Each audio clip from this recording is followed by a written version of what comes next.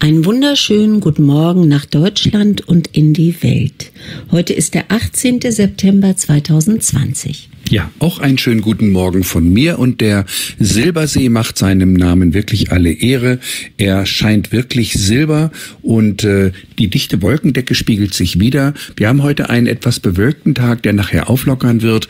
Ab morgen ist es wieder sonnig und warm, aber wir genießen den heutigen Tag.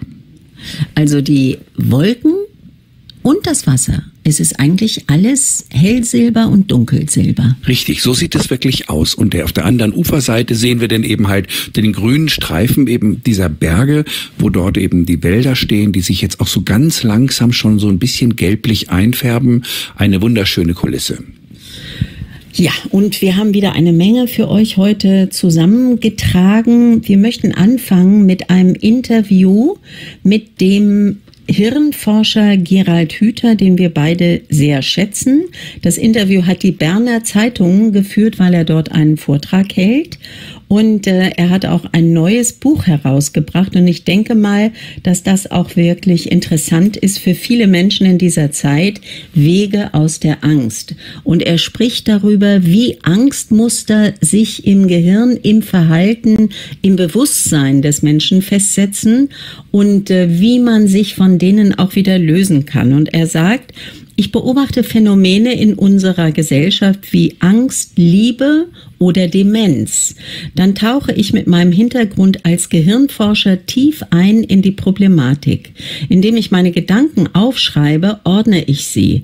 Am Ende habe ich ein Manuskript vor mir, das ich auch anderen zeigen kann. Also, und er spricht eben über sein Buch. Er sagt, er ist auch Biologe, der sich bereits als Kind in die Vielfalt des Lebendigen verliebt hat. Und er sagt, es ärgert mich, dass unsere Spezies im Begriff ist, diese Lebendigkeit zu ruinieren. Darüber sprechen wir ja auch öfter, denn das Leben ist viel reichhaltiger und lebendiger, als wir es oft äh, einordnen. Und Worum geht es in dem Buch? Ähm, Gerald Hüther antwortet, ich habe das Buch geschrieben, weil ich Antworten auf die Mikrobenproblematik finden wollte. Im Gegensatz zu Tieren, die erst bei einer gefährlichen Situation Angst empfinden, können wir Menschen bereits Angst haben, wenn wir uns eine gefährliche Situation vorstellen. Leider wird in unserer Gesellschaft Angst oft geschürt, um bei den Menschen ein bestimmtes Verhalten hervorzubringen. Dieses Phänomen ist ist in dieser Mikrobenkrise besonders deutlich zutage getreten. Und er sagt, Angstmacherei ist eine Unart unserer ganzen Gesellschaft. Das beginnt schon bei den Eltern, die den Kindern sagen, sie sollten sich in der Schule anstrengen, weil sie sonst ein schlechtes Zeugnis erhalten und später im Leben nichts erreichen. Auch die Werbung operiert mit Angst. Sie suggeriert uns zum Beispiel, wer nicht eine bestimmte Faltencreme benutzt, wird zu einer hässlichen alten Tante, mit der niemand etwas zu tun haben will. Diese systemimmanente Angst kann eskalieren. Und er sagt, dann wird er gefragt in dem Interview, eskaliert sie denn im Moment die Angst? Und Hüter antwortet, sie ist bereits eskaliert. Das Fatale daran ist, dass es sehr schwierig ist, verängstigte Menschen wieder zu beruhigen.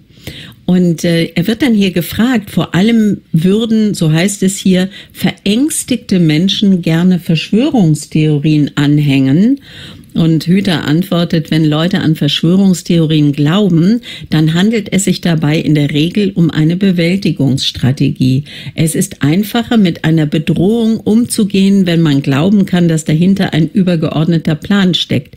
Ich finde es allerdings keine gute Idee, Kritiker des bisherigen Umgangs mit der Corona-Problematik als Verschwörungstheoretiker abzukanzeln. Und äh, wird gefragt, was wäre denn besser? Sie sagt, dass man aufhört, den Leuten Angst zu machen, nur weil man erreichen will, dass sie sich an die Vorgaben halten. Und er sagt, ich unterstelle niemandem eine böse Absicht. Das Grundproblem liegt in der Art und Weise, wie wir unser wirtschaftliches und gesellschaftliches Leben seit einigen Jahrzehnten gestalten. Einen großen Teil der Verantwortung sehe ich bei den Medien, die sich finanzieren müssen über Abonnenten oder Quoten. Sie deshalb in der Versuchung, große Sensationsmeldungen zu bringen. Und ähm, ähm, auch die Politiker haben ohne finanzielle Interessen, sagt dann der Interviewer, vor dem Coronavirus gewarnt. Und Hüter antwortet, die Politiker haben ein Interesse daran zu zeigen, wie gut sie eine schwierige Situation managen können. Und die Gesundheitsexperten möchten zeigen, wie wichtig sie sind. Das Leben ist aber immer gefährlich. Man kann den Leuten nicht sagen, wenn sie das und das machen, dann kommt das alles gut. Wir müssen die Unkontrollierbarkeit des Lebendigen annehmen. Erst wenn wir aufhören, alles kontrollieren und beherrschen zu wollen, dann sind wir frei. Ja, da geht einem das Herz auf, wenn man so etwas hört. Eine solche klare Struktur und eine solche saubere Einordnung und vor allem auch die Fragen, die sich dabei öffnen. Denn wenn er beispielsweise davon spricht, dass er sagt, er geht nicht davon aus, dass da tatsächlich eine böse Absicht hintersteht, dann muss man erstmal definieren, was natürlich böse überhaupt ist. Und wenn man dann weitergeht, gerade so wie ich das ja mache als Kommentator und ich versuche dann die Strukturen zu erkennen, welcher Hintergrund dahinter steht. Also es heißt zum Beispiel, er sagt, ähm, dass die Medien abhängig sind von Abonnentenzahlen und auch von Werbung. Sie sind aber auch mittlerweile abhängig von Finanziers, die im Hintergrund auftreten können, auch private Finanziers. Und die könnten wiederum Interessenvertretungen haben. Das allerdings ist schon wieder eine Verschwörungstheorie, glaubt man. Wenn man aber weiß, wie die Geldflüsse sind, und einige sind ganz offen, dann weiß man eben halt, dass es keine Verschwörungstheorie ist, sondern ganz normale finanzielle Strukturen, die dahinter stehen und offenbar auch Aufgaben. Und ich finde das wirklich großartig, was er schreibt, denn diese Angst, die hier geschürt wird, das ist ein System, was dahinter steht. Und wenn mit einem solchen System eine Angst geschürt wird, dann muss man sich fragen, wozu soll das Ganze führen? Wirklich zur Sicherheit und zur Gesundung der Menschen? Das können wir ausschließen, weil wir wissen, dass Angst ja selbst krank macht, dass eben die Psyche der Menschen eben halt extrem leidet, die Menschen sich bis hin zu Suizidgedanken im Prinzip quälen müssen müssen. Also das kann es nicht sein. Also welche Hintergründe stehen denn dann dort hinter, hinter dieser Angstmacherei? Und das ist natürlich ein Thema, was wir hier auch immer wieder behandeln. Ja, das führt auch in die Lebendigkeit, wenn man sagt, okay, also da gibt es jetzt hier Anordnungen, aber was kann die Ursache dafür sein? Spannend, Anordnungen auf der ganzen Welt, eben nicht nur in Deutschland oder in Holland oder in Kanada oder Australien, überall auf der ganzen Welt. Äh, er wird noch gefragt, der Dr. Hüter, ähm, wir können nicht mehr längerfristig planen oder es, es, diese Veränderung durch die Mikrobe, die ja unser gesamtes Verhalten jetzt herausfordert. Es ist ja nichts mehr, wie es mal war und äh, wie können wir jetzt damit umgehen und vor allem, was macht das mit unserem Gehirn? Und Gerald Hüther antwortet, unser Gehirn mag am liebsten einen Zustand, in dem alles zusammenpasst. Deswegen sitzen wir so gern daheim auf dem Sofa und gucken fern. Bei Schwierigkeiten will unser Gehirn schnelle Lösungen, damit es wieder zurück in den Energiesparmodus kann. Aber die kurzfristigen Lösungen sind langfristig oft schlecht. Zum Beispiel ist es nicht sinnvoll, jedes Mal Alkohol zu trinken, wenn man ein Problem mit seiner Frau hat. Diesen Hang zum kurzfristigen kann man nur überwinden, indem man ein längerfristiges Anliegen verfolgt, an das man glaubt. Genau das erhoffe ich mir für unsere Gesellschaft ein längerfristiges Anliegen, Andreas. Wir sprechen ja oft auch über das Gottvertrauen, über die Natur, die in dieser Zeit uns zeigt, dass es kein anderes System auf der Welt gibt, schon gar kein menschengemachtes, das derartig zuverlässig arbeitet wie die Natur. Die ganze Welt kippt aus den Latschen, alles wird anders, nur die Naturgesetze bleiben gleich. Also auch wenn man in die Natur schaut die Entwicklung, jetzt kommt wieder der Herbst, dann kommt wieder der Winter, egal wie sich die Gesellschaft zerlegt, aber das funktioniert. Das ist ja etwas längerfristiges, lebendiges, an das wir uns richten können und an dem wir uns auch ausrichten könnten. Ja, wir haben verlernt, dass es eine Lebenskraft gibt, die uns belebt, die die Natur belebt und nicht wir von uns aus heraus selbst leben, weil wir nämlich nicht die Schöpfung unter uns haben, sondern ein Teil der Schöpfung selbst sind. Und wenn wir das erkannt haben, dass diese Lebendigkeit tatsächlich von oben auf uns einwirkt und uns erst einmal in die Fähigkeit bringt, dass wir uns bewegen können, dass wir eigene Entscheidungen als Menschen führen können, aber auch ein Baum, dass er weiß, in welche Richtung er wächst, wie er sich der Sonne ausrichtet und so weiter und so fort. Das sind die Dinge, die uns abhanden gekommen sind. Und hier entsteht, wenn man das verstanden hat, etwas, was man mit einem Begriff bezeichnet, der heute völlig außen vor ist. Das ist die Demut. Die Demut vor der Schöpfung. Und solange wir die Demut vor der Schöpfung nicht haben, solange werden wir auch weiterhin glauben, dass wir oberhalb der Natur stehen und die Natur sogar steuern können durch Impfung, durch Chemie, durch irgendwelche Eingriffe und so weiter und so fort. Und das Ganze dann aus einer Überheblichkeit, aus einer anthropozentrischen Hybris. Also das bedeutet also als Mensch, der als Endprodukt einer Evolution angesehen wird, anstatt als Teil einer Schöpfung, der sich dankbar in den Gesetzen der Natur bewegen darf, beseelt in seinem menschlichen Körper, um dann hier seine Aufgaben zu erfüllen. Das ist uns völlig abhanden gekommen. Und wir haben tatsächlich eine Situation, dass eine Gruppe von Menschen sich erhoben haben und ich kann sie nur als extrem dunkel empfinden. Und das ist die Frage, die sich gerade für mich auch ergeben hat. Dieses orchestrierte, weltweite, was hier gerade stattfindet. Wie lässt sich so etwas durchziehen? Und äh, Hüter spricht hier von Verschwörungstheorien und er sagt eben, dass äh, die Kritiker dieser ganzen Sh äh, Shutdown-Geschichte ähm, und Strategie, die hier läuft, äh, dass die eben nicht als Verschwörungstheorie gesehen werden darf. Also ähm, Sucharit Bhakti ist kein Verschwörungstheoretiker, sondern ein Professor für Biologie, der die Zusammenhänge versteht. Ein Dr. Wodak ist ist nicht ein Verschwörungstheoretiker, sondern ein Experte für diese Dinge. Und das sind nicht irgendwelche Leute, die irgendetwas sagen. So, und wenn man das sieht, dass das alles weggebürstet wird, weggedrückt wird und stattdessen findet Angstmache statt und eine weltweite konzertierte Aktion nämlich mit den identischen Maßnahmen nahezu weltweit. Wie ist so etwas möglich? Und jetzt stelle ich mir vor, möglich ist so etwas in dieser materiellen Welt eigentlich vor allem mit Geld mit Mitteln. Und äh, jetzt mache ich mal eine Verschwörungstheorie. Es gibt ja Privatpersonen mittlerweile, die über Hunderte von Milliarden verfügen. Wenn wir wissen, dass wir 200 Staaten auf dieser Erde haben, 200, mehr sind das nicht. Auf der gesamten Erde befinden sich circa 200 Staaten und die haben Politiker, Parlamente und so weiter. Da sind viele Drittstaaten dabei, die man so abfällig so benennt und so weiter aber auch moderne Industrienationen.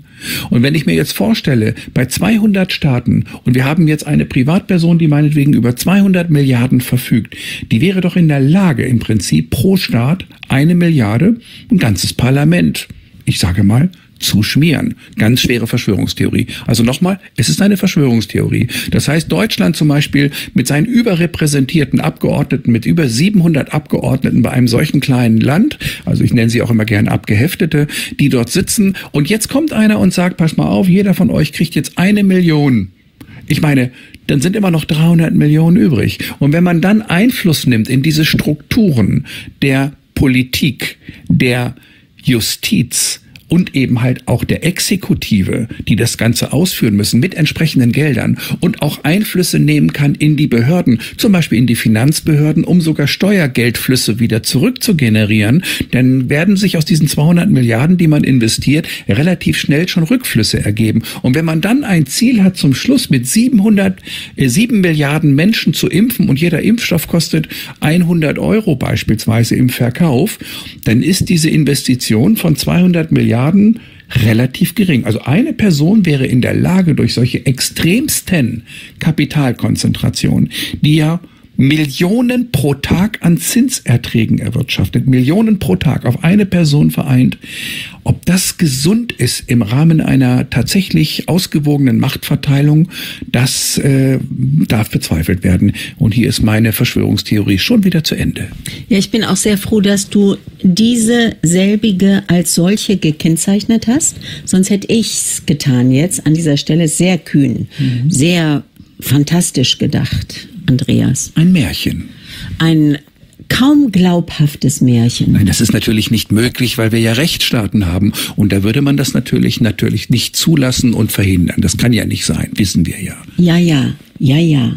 Ja, es gibt hier eine Meldung. Äh, Brüssel liegt ja in Belgien und trotzdem ist es offenbar der EU-Zentrale nicht gelungen zu unterbinden, dass 1400 belgische Ärzte und medizinisches Fachpersonal Alarm schlagen. In einem offenen Brief fordern sie, also 300 belgische Ärzte und 1100 Angehörige aus Gesundheitsfachberufen, fordern sie ihre Regierung auf, die Mikrobenmaßnahmen unverzüglich einzustellen.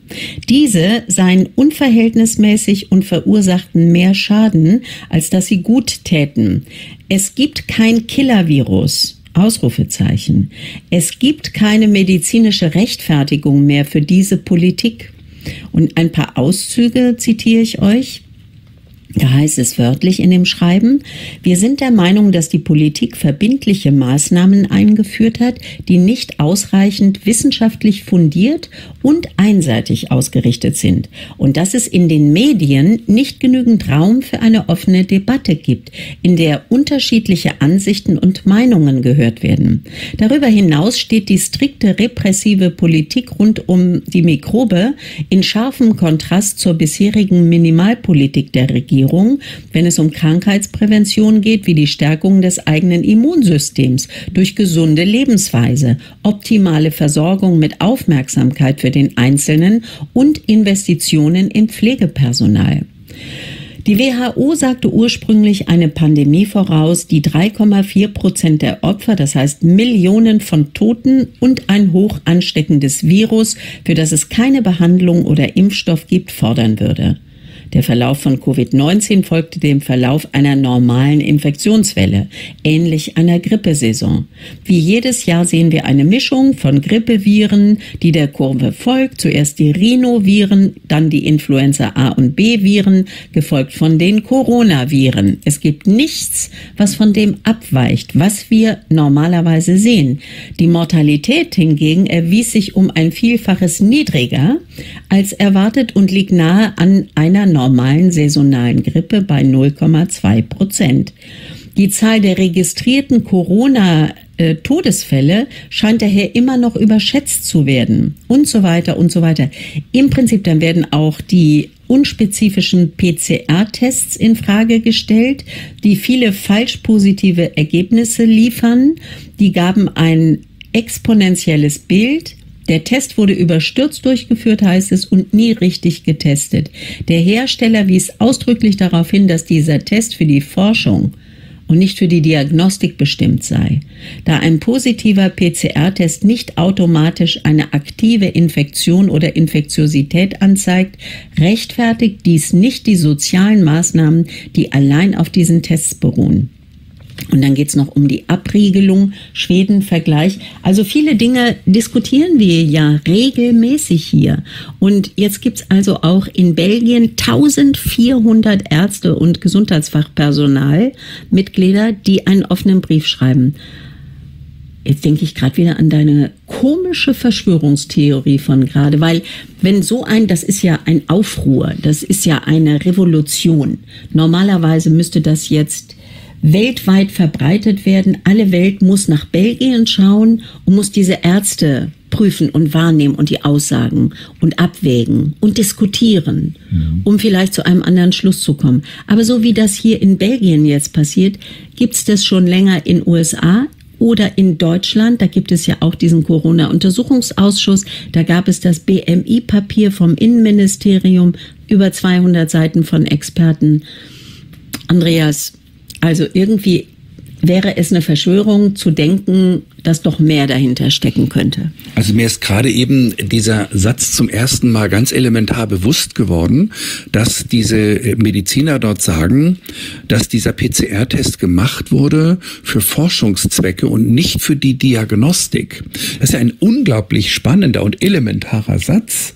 Das heißt, hier wird also quasi, wenn das dann so stimmt, ich jetzt unterstelle ich das mal, dass es so stimmt, denn diese Menschen, die dort sagen, diese Experten, die argumentieren ja ausschließlich mit Daten und Fakten und Zahlen, anders als Herrn Drosten, über den wir uns unterhalten haben vorgestern, der sagte, das stimmt ja alles gar nicht und das sind ja alles Verschwörungstheoretiker und wir haben recht und das war auch richtig, dass wir diesen Shutdown gemacht haben und damit ist dann die Aussage quasi elementar schon beendet. Das ist ja so das Niveau, ich sage mal, ähm, eines Praktikanten in der Bildzeitung, bevor er seine Ausbildung beginnt, nach dem Motto, ist ja alles so gar nicht, stimmt ja gar nicht. Also das geht ja gar nicht. Und ähm, da ist, das nährt natürlich tatsächlich wieder so eine Verschwörungstheorie, zumal man natürlich nicht eine Person mit 200 Milliarden braucht, sondern das sind ja kleine Oligarchien, die sich da auch bilden können. Bei zehn Leuten in dieser Größenordnung käme natürlich schon eine Summe zusammen und die bräuchten quasi nur einen kleinen Teil ihrer Hunderte von Milliarden einsetzen, um also einen solchen Schmierprozess in Gang zu setzen, dass alles rund läuft,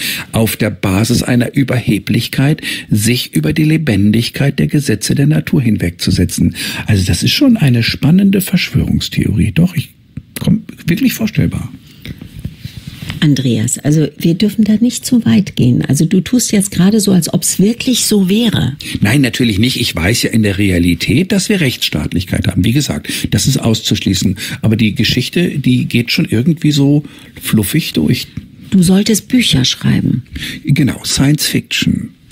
Äh, diese Gruppe sagt übrigens noch, das möchte ich euch noch vorlesen, es handelt sich nicht um ein Killer-Virus. Es gibt keinen Ausnahmezustand. Wir wollen unsere Patienten nicht als Versuchskaninchen benutzen. Also denen ist auch das Wohl der Menschen wichtig. Weltweit heißt es weiter, wird mit 700.000 Schadensfällen oder Todesfällen als Folge des Impfstoffs gerechnet. Wenn 95 Prozent der Menschen von Covid-19 praktisch symptomfrei sind, ist das Risiko einer Exposition gegenüber einem ungetesteten Impfstoff unverantwortlich. Dann heißt es weiter, in den letzten Monaten schienen Zeitungs-, Radio und das Fernsehen fast unkritisch hinter dem Expertengremium der Regierung zu stehen, wo gerade die Presse kritisch sein und einseitige Regierungskommunikation vermeiden sollte. Dies hat zu einer öffentlichen Kommunikation in unseren Nachrichtenmedien geführt, die mehr einer Propaganda als einer objektiven Berichterstattung glich. Was wollen die 1400 belgischen Ärzte und Angehörigen der Gesundheitsberufe? Ein sofortiges Ende aller Maßnahmen. Eine unabhängige Kommission, die untersucht, warum alle freiheitsbeschränkenden Maßnahmen aufrechterhalten werden und eine gründliche Untersuchung der Rolle der WHO und des möglichen Einflusses von Interessenkonflikten in dieser Organisation. Ja, das sagen Menschen, die in Beruf und in Amt und Würden sind, in wissenschaftlichen Tätigkeiten und Arbeiten und die sind vermutlich eben halt auch schon ein bisschen älter. Nun haben wir eine heranwachsende Generation jetzt gerade laufen, die ja in einer extremen Sinneswandlung sich befinden müssen. Das heißt, das ist ja ein richtiger Fleischwolf, der da zurzeit richtig zustande gebracht wird. Kinder, die mit Masken rumlaufen und dadurch ihre Mimik nicht mehr ihres Gegenübers kennenlernen. Das heißt, eine massive Einschränkung der Sinne, die plötzlich stattfindet. Das ist ja eine schwere Schädigung der Menschen. Dann fällt mal einfach ein halbes Jahr oder eventuell sogar ein Jahr die Schule aus. Ich glaube, auf den Stoff des Unterrichts konzentriert sich sowieso keiner mehr, sondern jeder ist mit seiner Maske in der der Schule beschäftigt und wahrscheinlich wird das Dauerthema sein, äh, die Infektionsraten auf dieser Welt. Also das ist natürlich schon schwierig. Wie will man denn mit diesen Menschen nachher noch objektiv sprechen? Also mit der Maske, Andreas, äh, da ist, glaube ich, da irrst du dich. Man gewöhnt sich schneller daran, als man denkt. Man gewöhnt sich allerdings dann auch an die Non-Kommunikation. Also, dass man praktisch wenig nur noch miteinander zu tun hat und auch keinen Bock mehr hat zu sprechen unter diesem Stofflappen. Ja, und auch an den CO2-erhöhten Gehalt im Blut, der natürlich das Lernen noch weiterhin erschwert. Äh, aber es entsteht doch dadurch mit Sicherheit ein weiterer Verdummungsprozess, oder irre ich mich da? Äh, vielleicht auch. Ich glaube, glaube, du hast recht und, und wahrscheinlich auch etwas wie eine wachsende Lethargie, eine, eine Müdigkeit, eine Gleichgültigkeit. Ja, und das ist erschreckend. Und wenn wir uns jetzt vorstellen, dass in 20 Jahren diese Menschen, diese jungen Kinder dann in Amt und Würden in der Macht sind, mit schweren Schädigungen dann eventuell aus ihrer Kindheit, die ja jetzt gerade stattfindet, und wir, die jetzigen Erwachsenen, nichts dagegen tun und nicht auf die Straße gehen und eben nicht Alarm machen, es geht um die Kinder, dann äh, kann man sich schon ausrechnen, was da kommen kann. Mhm. Wir wollen mal über die Folgen sprechen der Mikrobenkrise. Es gibt einen Artikel, der heute erschienen ist beim Kölner Express und überschrieben ist das Ganze mit dem Satz, droht ganz NRW die Pleite, Kassensturz, jetzt kommen gewaltige Einnahmeausfälle. Der Ausbruch der Pandemie hat in Bund und Ländern milliardenschwere Hilfspakete nach sich gezogen. Jetzt haben Steuerschätzer Kassensturz gemacht. Und sie sagen für NRW gewaltige Einnahmeausfälle voraus. Heftige Probleme, die verursacht werden. Äh, die Hilfspakete während der Krise haben die Staatskassen geplündert. Bundesweit muss mit 19,6 Milliarden Euro weniger Steuern gerechnet werden. Also mit knapp 20 Milliarden Euro. Und ähm, das tiefe Loch wird eben auch in NRW in den Landeshaushalt gerissen werden. Das bevölkerungsreichste Bundesland muss jetzt bis einschließlich 2023 mit insgesamt 20,7 Milliarden Euro weniger Steuereinnahmen rechnen. Ein Bundesland mit 20,7 Milliarden. Das hat das Finanzministerium in Düsseldorf mitgeteilt. Und ähm, zuvor hatte bereits der Arbeitskreis Steuerschätzung die bundesweite Prognose vorgestellt. Hm, vor einem Jahr hätte das wahrscheinlich keiner gedacht, also dass dieses Riesengeldproblem für NRW äh, kommen wird. Und ähm, ja, jetzt überlegt man, wie man damit umgeht. Also man merkt richtig, wie man durch den Shutdown einen Turbo in die Staatspleite, in die zukünftige eingebaut hatte. Denn es war klar, dass das sowieso kommen würde. Das weiß man schon seit zehn Jahren, seit 20 Jahren, seit 30 Jahren. Das hat nämlich was mit Mathematik zu tun. Man kann so etwas hochrechnen. Aber jetzt kommen natürlich durch solche Shutdown-Maßnahmen, und das ist natürlich ein willkommenes Ablenkungsmanöver von den tatsächlichen Systemproblemen, 20 Milliarden in Nordrhein-Westfalen Zahlen. Wenn ihr 20 bis 20.000 zählt, eins, zwei, drei, vier bis 20.000 und hinter jeder Zahl steht eine Million Euro, dann haben wir 20 Milliarden. Zählt mal langsam nur bis 1000. Und wenn ihr dann 20 Mal bis 1000 gezählt hat und hinter jeder Zahl steht eine Million, dann wisst ihr, um welche Größenordnung es sich handelt. Nein, nein, wir haben hier natürlich ein Systemproblem und dieses Systemproblem wird jetzt tatsächlich beschleunigt. Und äh, wenn wir jetzt natürlich noch diese ganzen sogenannten staatlichen äh, Unterstützungsmaßnahmen machen, die gefördert werden, da gibt es dann ähm, bekannte Stars oder bekannte ähm, äh, Menschen, die auf der Bühne auftreten, die Künstler und so weiter, die jetzt sagen, wir müssen müssen jetzt unbedingt eben staatliche Unterstützung haben, weil die alle in Schwierigkeiten sind. Ich verstehe diese Situation, aber was passiert denn? Da kommen dann eben halt große Geldmengen, die dann reingepumpt werden in zum Beispiel irgendwelche Künstlerkassen und so weiter, um zu überleben. Aber irgendeiner muss das Geld wieder zurückzahlen. Zumindest muss das in irgendeiner Form finanziert werden, in, in Form von erhöhten Steuermaßnahmen. Das sind die Leute, die aber sich dann nachher kein Ticket mehr fürs Theater leisten können, weil sie nämlich durch ihre spätere weiteren Steuererhöhungen, äh, die jetzt für die Künstler zum Überleben bezahlt werden. Merkt ihr, hier beißt sich die Katze in den Schwanz und hier wird das Ganze insgesamt geklärt. Deshalb lege ich so unglaublich viel Wert darauf und werde nicht müde, von der endlichen neuen Systematik und der neuen Normalität zu sprechen, aber im Sinne einer tatsächlichen neuen Systematik, die den Menschen dient, Wirtschaft, die den Menschen dient und nicht Menschen, die der Wirtschaft zu dienen haben oder in diesem Fall sogar der politischen äh, Liga zu dienen haben. Mittlerweile sind über 70 Prozent der Menschen direkt oder indirekt vom Staat abhängig. Ob das nun die Beamten sind, öffentlich Bedienstete, ob das Lehrer sind, aber auch kleine Unternehmen beispielsweise, die von Staatsaufträgen leben, Staat, Zeitungen zum Beispiel, aber Unternehmen, ein, ein kleiner Malermeister, der beispielsweise in der Schule dann die, die Kellerwände eben halt neu weist oder kalkt oder was auch immer da macht. Und die vielen Sozialhilfeempfänger, die vielen Umschulungsmaßnahmen. Das heißt, hier findet ja im Prinzip eine Situation statt, dass vermutlich der größte Teil der Menschen direkt oder indirekt vom Staat abhängig ist. Nun muss man wissen, dass wir alle vier Jahre eine Wahl haben. Diese Wahl eine Kontrolle des Staates, also der Staatsführung sein soll. Wenn aber die Kontrolle stattfindet durch die Abhängigen, die dort nämlich vom Staat abhängig sind, wie soll denn da noch eine Kontrolle überhaupt stattfinden, wenn die Wähler selbst von den Führern abhängig sind, die sie jetzt nun bewerkstelligen sollen oder auch kontrollieren sollen? Also man merkt hier, Wir müssen komplett umdenken. Wenn wir einfach so weiter wursteln auf dieser Basis, kommen wir nicht weiter. Ja, also wir sind ja mitten in einem Prozess, den wir als großen Transformationsprozess betrachten und auch als Chance für jeden Einzelnen, sich auf eine neue Zeit einzurichten. Ich meine, es wird von den Politikern seit vielen Jahren von einer neuen Weltordnung gesprochen, von einer Abkehr der Nationalstaaten, der Souveränität der Nationalstaaten.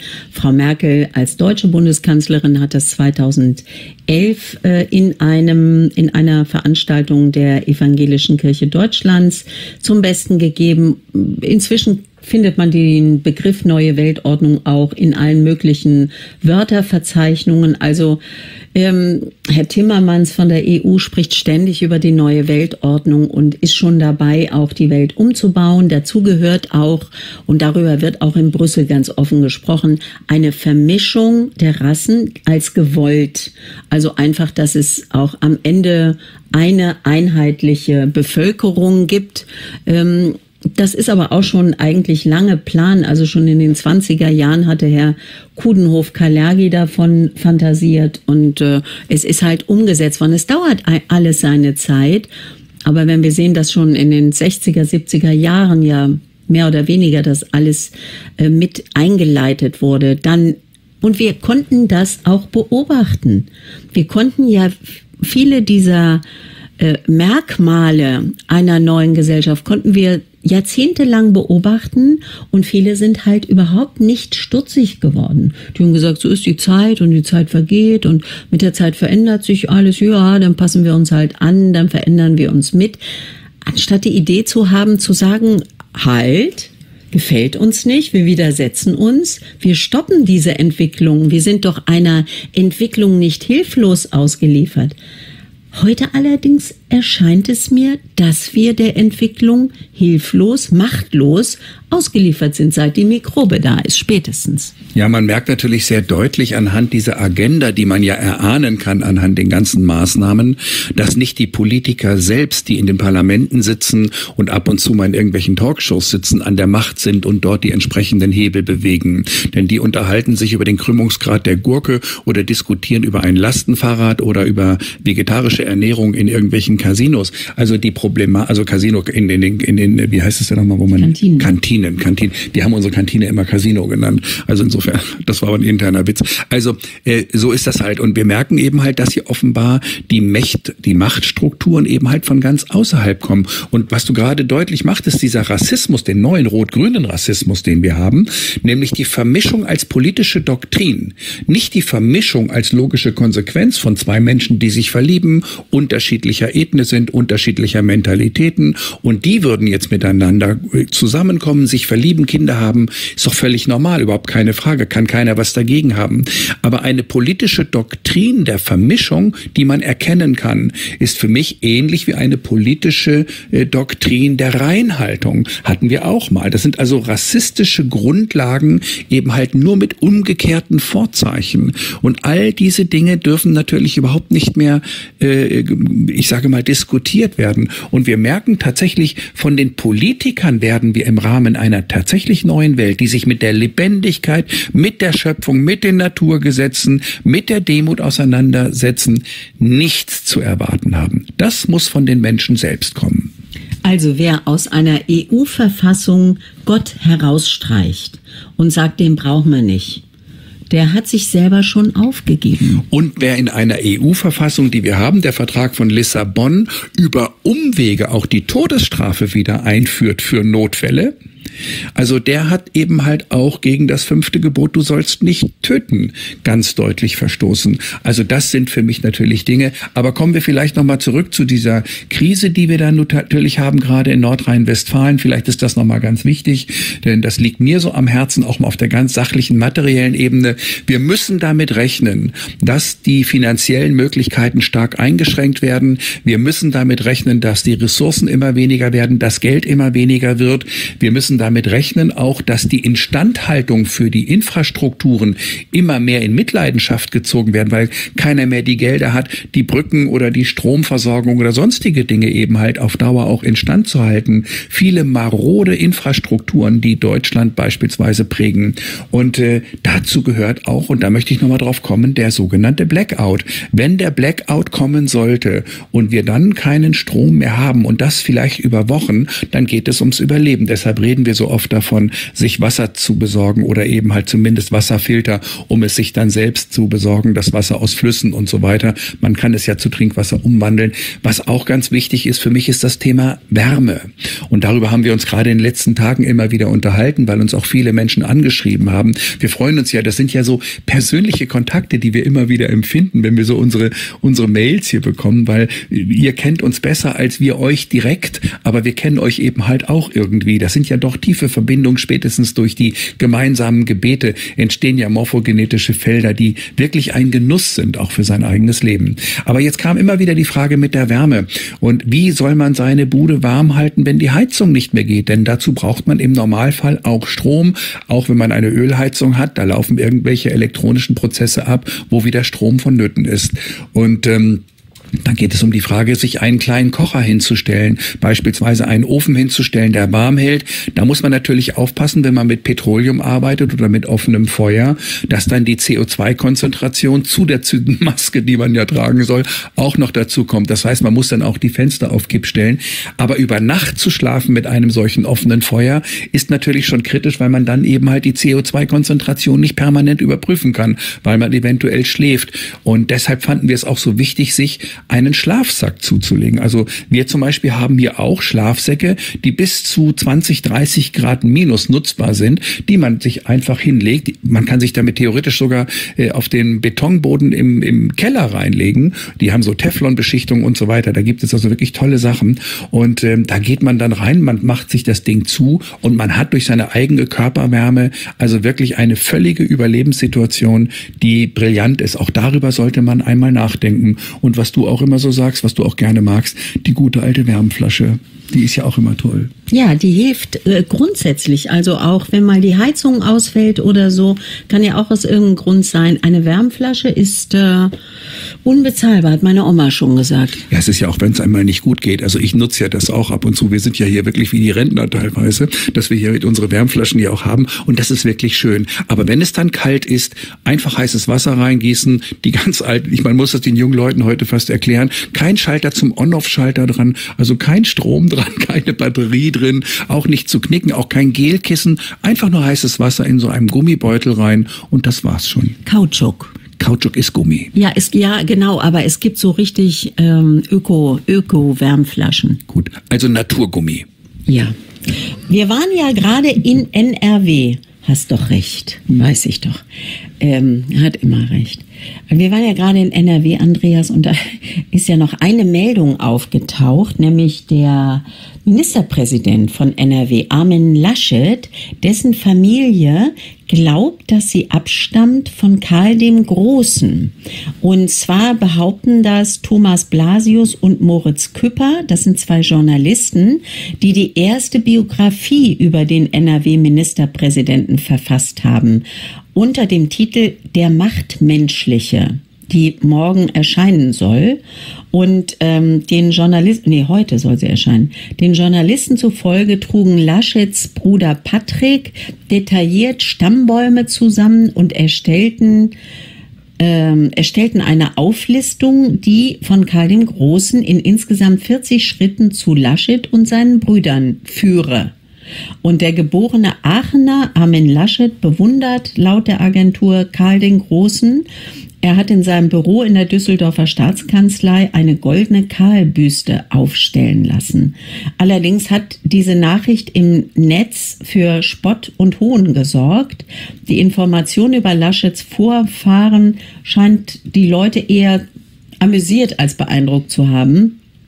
Äh, viele Twitterer wiesen darauf hin, dass Karl der Große vor rund 40 Generationen gelebt habe. Also der war ja 8. und 9. Jahrhundert von Ihnen stammen wahrscheinlich alle Mitbürger mit europäischen Wurzeln ab, schrieb der Nutzer unter dem Haus, unter dem Namen Hans Sauner. Ähm, ist klar, weil, weil auch Karl der Große hat es ja ordentlich getrieben.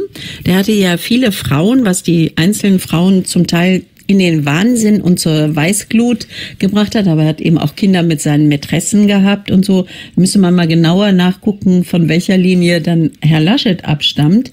Und ähm, naja, also Karl der Große ist ja nun nicht unbedingt auch das Ruhmesblatt. Nein, also da muss man wirklich schmunzeln darüber. Karl der Große ist ja wohl einer der umstrittensten Figuren in der gesamten Geschichte. Er gilt ja auch als der Germanenschlechter, der Sachsenschlechter. Das heißt, es gibt die berühmte Geschichte, ich glaube 783 war das nach Christus oder 786? 72. 772? Okay, 772. In Pferden an der Aller. Das ist übrigens da aus der Ecke, wo ich herkomme, aus dem Raum Walsrode. Dort gibt es in Pferden Pferden an der Aller die berühmte, das berühmte Blutgericht von Pferden, wo Karl der Große die Sachsen eingeladen hatte zu einer Konferenz über Lehen. Ging es da um irgendwelche Dinge, die besprochen werden sollten. Und da ist es folgendes, dass dann der Karl der Große das in einen Hinterhalt die Menschen einge, eingebracht hatte, die Sachsen, und hat sie dann einfach abschlachten lassen. Und da man in Konferenzen unbewaffnet reingeht, konnten die Sachsen sich nicht wehren. Also wenn das eben halt der neue Führer ist oder der alte Karl der Große ist,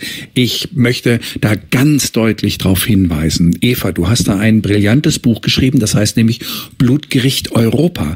Und das leitet sich aus dem Blutgericht von Pferden nämlich ab. Und wenn man dann erkennt, dass Karl der Große, der ja sogar genannt ist auf dem Cover, als Ursache der heutigen Verwerfungen dargestellt wird, ein hoch umstrittener Politiker, einer, der als Massenmörder bezeichnet wird von vielen, vielen Menschen und sich dann stolz hinterzustellen, hinzustellen und zu sagen, womöglich, ich stamme von ihm ab. Also wenn das kein Grund ist, einen solchen Menschen eben halt nicht zu wählen, dann äh, weiß ich nicht, welchen Grund man noch haben sollte.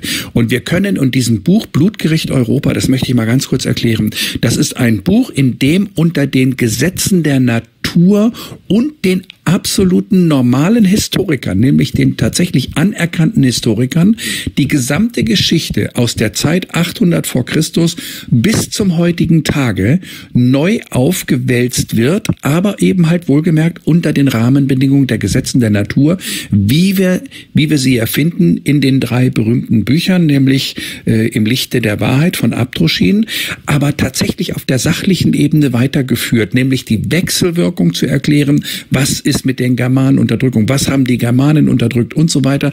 Wie sind wir in diese heutige Welt eigentlich gekommen? Und wie kamen diese heutigen Verwerfungen insgesamt mit der Demokratie, mit den Parteien und all diesen Strukturen bis ins Detail, inklusive dem Geldsystem zustande? Ein hochbrillantes Werk, welches wirklich die Augen öffnet. Ich darf das sagen, weil das ist für mich das beste Buch, was ich kenne, muss ich ganz offen sagen. Außer den drei Büchern natürlich im Lichte der Wahrheit. Und ähm, da möchte ich darauf hinweisen, ganz ganz wichtig. Ja, und andere Bücher kennst du eh nicht, also sind das die besten Bücher. Oh, ich habe die ganze Fix- und Foxy-Sammlung, habe ich auch. ja, nee, äh, dieses äh, Blutgericht Europa erklärt vor allem eins, und das war mir auch sehr wichtig. Ich habe zehn Jahre an diesem schönen Buch geschrieben. Ja. Und es ist tatsächlich auch mein wichtigstes aller 16 Bücher, die ich so bislang zusammengeschrieben habe. Ein Grundlagenwerk, ein wirkliches Grundlagenwerk. Ja, weil es eben auch eine Sache erklärt. Diese fast 5000 sächsischen Fürsten, die damals dahingeschlachtet wurden von Karl Gro dem Großen und seinen Söldnern und Kirchenangehörigen. Man höre und staune. Ähm, das ist ja praktisch ein ein, eine blutige Saat gewesen, die Karl der Große, der damals die Konturen Europas praktisch mit seinen Eroberungszügen in Gemeinsamkeit mit Rom geführt hatte. Das sind ja praktisch die Konturen des heutigen Europa in etwa. Und er hat praktisch dieses Europa begründet und hat aber durch diese blutige Zwangschristianisierung in allen Ländern, hat er eine blutige Saat eingebracht. Und es ist ja nun mal so, auch in der Psychologie, in der Forensik weiß jeder, dass jemand, der als kleines Kind in seinem Ursprung missbraucht, misshandelt wurde, dass wenn nicht dagegen gearbeitet wird durch psychologische Maßnahmen, dass dieses frühere Kind später selbst zum Täter werden kann, wenn das Ganze unverarbeitet bleibt. Und so kann man auch Europa als misshandeltes Kind betrachten, das damals begründet wurde, das aber psychologisch nicht betreut wurde und später zum Täter wurde, nämlich Europa. Es waren die europäischen Kolonialherren, die in alle Welt hinausschwebten und sich die Welt untertan machten, nämlich zwangschristianisierten. Und es gibt bis heute Kolonialländer, die unter portugiesischem, französischem, englischem Diktat stehen, unter der Macht mehr oder weniger und immer noch nicht aus dieser Zwangsherrschaft losgelassen wurden. Muss man sich da wundern, dass jetzt so viel Unglück und Unruhe und Probleme nach Europa zurückkommen, das Pendel schlägt zurück. Ja, da muss ich noch eines dazu sagen, nochmal zum Karl dem Großen. Ähm, in den 20er Jahren der Weimarer Republik, also 1920er Jahre, da war es so, dass äh, man in den Schulen lehrte, dass Karl der Große der Sachsenschlechter war und dass beispielsweise Widukind, das war damals der sächsische Fürst, der einen großen Namen hatte, der mit dieser Schlacht von Pferden immer in Verbindung gebracht wird, der große Held war und man baute Büsten auf. Und Karl der Große war bekannt als der Germanen- und Sachsenverächter echter. Und interessanterweise, als dann Adolf Hitler 1933 an die Macht kam, wurde ausgerechnet Karl der Große, der Sachsenschlechter von ihm, ganz besonders hofiert und aufgebaut.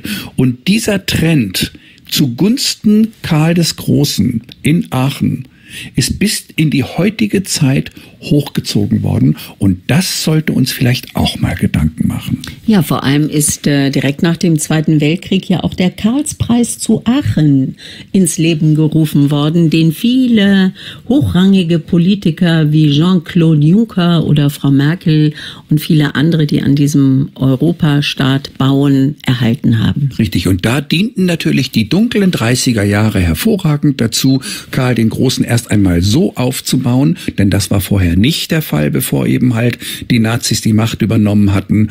Und äh, bis dato galt er eben halt genau als der Schlechter. Und heute haben wir die Karlsmedaille und die Karlspreise und was auch alles. Also bedenklich. Aber keine Verschwörung. Nein, es ist keine Verschwörung. Das sind einfach Fakten, die wir ineinander rein. Aber ich mache mir da meine Gedanken zu. Schluss jetzt mit dem Geschichtsunterricht. Hier geht es weiter mit aktuellen Meldungen. Es ist eigentlich ein Podcast hier für Aktuelles, stabil durch den Wandel. Wobei es gar nicht schlecht ist, wenn man mal solche Hintergründe bespricht, damit man sich nicht nur als Opfer fühlt, wenn man merkt, es wird wieder alles ein bisschen enger gezogen. Wir neigen dazu durch die Gespräche. Wir haben hier ganz andere Themen hier draufstehen und dann neigen wir natürlich auch dazu, uns ein bisschen zu vergaloppieren manchmal. Aber wir hören auch immer wieder, dass die Leute das ganz gut finden, wenn wir plötzlich mal abweichen von den den Themen. Ja, aber jetzt haben wir auch genug, sind wir ja. genug abgewichen, es reicht jetzt. Also der Bundestag hat gestern Abend wichtige Gesetze beschlossen, Milliardenausgaben für Kommunen und Autos mit hohem Spritverbrauch, die nicht E-Mobile sind, werden teurer. Also, äh, ich möchte euch das mal ganz kurz äh, vorlesen, womit sich heute denn auch schon der Bundesrat beschäftigt, äh, nämlich mit dem Gesetz, das hier beschlossen wurde und die Zustimmung dafür gilt bereits als sicher. Der Deutsche Städtetag hatte die Entlastung bereits begrüßt, aber auch noch zusätzliche Milliardenhilfe vom Bund für die Jahre 2021 und 2022 gefordert. Also, wegen der Mikrobenkrise und der angespannten Lage vieler Firmen ist die Gewerbesteuer als wichtigste Einnahmequelle der Kommunen eingebrochen. Der Bund springt ihnen nun zur Seite und kompensiert für dieses Jahr Ausfälle in Höhe von rund 6,1 Milliarden Euro. Auch die Länder wollen mit Milliarden helfen. Aber NRW hat doch gar kein Geld, haben wir gerade gehört. Nee, also irgendwie, aber Geld wird ja immer hergestellt, indem man es eben als Schulden aufnimmt. Wenn die sagen, sie helfen mit Milliarden, werden Schulden gemacht. Natürlich haben die keins. Ach so. Irgendwie logisch ist das nicht, ne? Ja, wir, wenn, ja, wenn man, ich dachte mal ganz kurz sagen, wenn wir natürlich mit einer Logik rangehen, dann kennen wir aus unserem persönlichen Haushalt, wenn das Geld alle ist, ist es alle. So einfach ist das Ganze. Und dann kann ich nichts mehr ausgeben. Man kann keine 10 Mark ausgeben, wenn man nur 5 Mark in der Tasche hat. Das hat mir mein Vater damals schon erklärt. Aber wir haben ein staatliches System, wir haben das Schuldensystem im Geld und das kennen wir in der normalen Situation nicht. Wir haben keine Minuskartoffeln, wir kennen keine Minusäpfel, wir kennen keine Minusdosenwurst oder Dosenbrot. Aber wir kennen Minusgeld. Das heißt, man greift also quasi in den Topf rein und holt Geld raus, obwohl schon Schulden da sind. Das sind dann neue Schulden. Man könnte das vergleichen in der ganz normalen Physik. Wir haben einen Raum, da sind fünf Menschen drin, jetzt gehen acht Menschen raus, dann müssen drei wieder reinkommen, dass der Raum leer ist. Das verursacht bei uns natürlich einen Knoten im Kopf und wir sagen, was ist denn das für ein irrsinniges Beispiel? Nein, genau, das ist unser Geldsystem in einem Satz. Hast du sehr schön gesagt. Äh, wenn ich dich nicht kennen würde, würde ich gerade an deinem Geisteszustand zweifeln, aber du sagst ja, es ist ein Nonsensbeispiel. Das ist kein Nonsensbeispiel, das ist einfach nur ein witziges Beispiel, was nur nicht umsetzbar ist, aber beim Geld ist es umsetzbar, ist schon spannend. Ja, äh, also ganz kurz zu den Beschlüssen, die heute vom Bundesrat wahrscheinlich sämtlichst abgesegnet werden. Es gibt eine Kfz-Steuerreform. Ab 2021 steigt für neue Autos mit hohem Spritverbrauch, das ist jetzt die Frage, ab wann es als hoch eingestuft wird, die Kfz-Steuer. Das soll die Bürger dazu bringen, sparsamere Pkw zu kaufen. Bereits zugelassene Autos sind nicht betroffen. Also da werden jetzt in diesem Jahr wahrscheinlich noch ein paar Leute ein Auto kaufen. Die Kraftfahrzeugsteuer wird künftig stärker daran ausgerichtet, wie viel CO2 ein Fahrzeug ausstößt. Die CO2-Komponente wird gegenüber dem Hubraum stärker gewichtet. Umweltschützer und die Grünen kritisierten, die Reform bringe den Klimaschutz zu wenig. Zur Reform gehört auch eine längere Kfz-Steuerbefreiung für reine Elektrofahrzeuge. Ja, da wolltest du was sagen? Ja, das macht mich schon immer irre, wenn ich das überlege, weil man spricht von dem, von dem Ausstoß von CO2, aber immer nur während der Fahrt. Wenn ich also 50 Kilometer zurücklege mit einem Elektroauto oder mit einem, mit einem Benzinfahrzeug, dann vergleiche ich die Zahlen.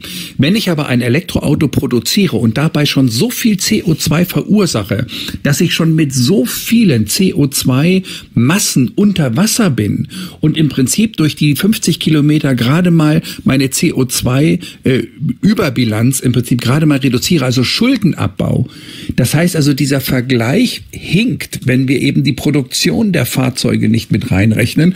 Und wenn wir wissen, dass mittlerweile ein Benzinfahrzeug günstiger in der CO2-Entwicklung ist oder in dem Ausstoß als jedes Elektrofahrzeug, dazu müssen die Jahrzehnte fahren, damit sie überhaupt erstmal auf Null kommen.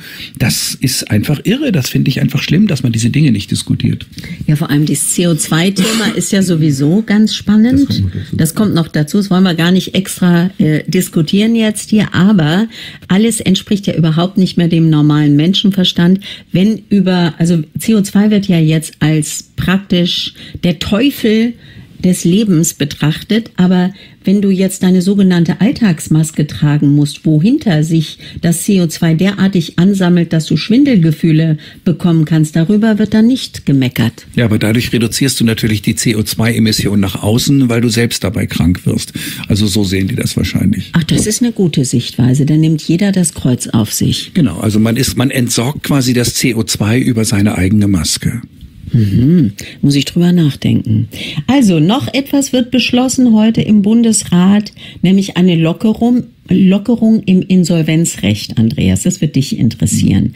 Angesichts der weiter angespannten Lage vieler Unternehmen in der Krise wird das Insolvenzrecht weiter gelockert. In Fällen der Überschuldung wird die Antragspflicht bis Jahresende ausgesetzt.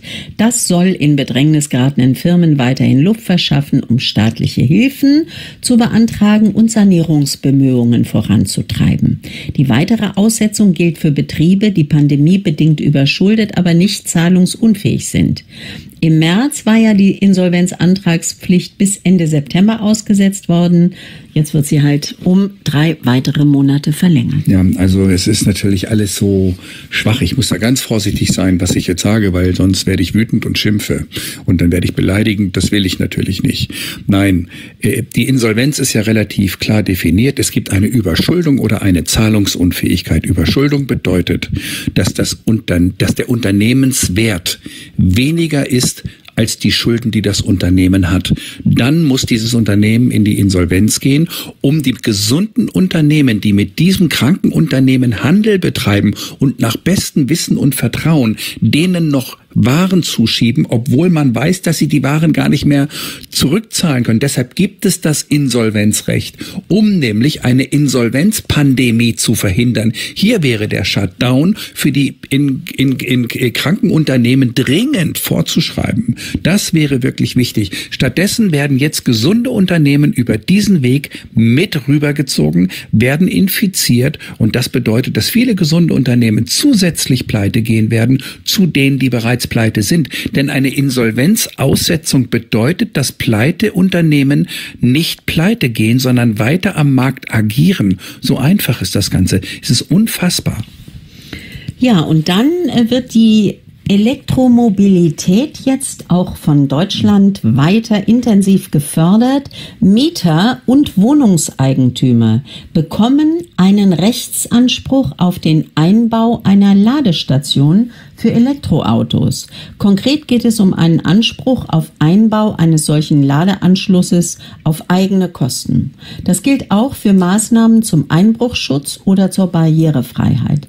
Umbauten sind jetzt einfacher möglich, damit Wohnanlagen energetischen Standards entsprechen und ältere Eigentümer auch im Alter noch barrierefreien Zugang zu ihrer Wohnung haben. Mit dem Anspruch auf Einbau einer Ladestation bringe man die Wende zur E-Mobilität gezielt voran. Ja, diese Einseitigkeit erschreckt. Denn wenn alle umgestellt sind, digital, elektrisch, Elektromobilität, alles was ist, ein Blackout würde sofort die gesamte Welt in den Zusammenbruch bringen. Es gibt nicht einmal mehr eine mechanische Alternative und wir argumentieren hier mit CO2. Also das ist das Interessante als Giftstoff. Das heißt, wir diskutieren nicht mindestens als Grund darüber, äh, dass wir zu viel Rohstoffe verbrauchen, was völlig richtig ist und das muss dringend runtergefahren werden und wir können uns über eine andere äh, Weltordnung diesbezüglich dringend unterhalten. Aber diese Klimahysterie zu nehmen, um dann eine komplette Irrsinnigkeit in eine einseitige, komplett einseitige Abhängigkeit von Strom. Und gleichzeitig, wo wir wissen, dass beispielsweise auch die Magnetosphäre sich verändert auf der Erde, die Sonnenwinde, das heißt das Sonnenplasma im Prinzip Veränderung mit sich bringt, die Wahrscheinlichkeit schon aufgrund der, der Schumann-Frequenzen, die sich verändern werden, dass aufgrund dieser Tatsache eventuell schon viele Stromproduzenten ausfallen könnten, da wird überhaupt nicht drüber diskutiert. Alle werden jetzt in eine Richtung abgerichtet, um sie dann theoretisch per Schalter abzuschalten. Und das wäre zum Beispiel ein Blackout.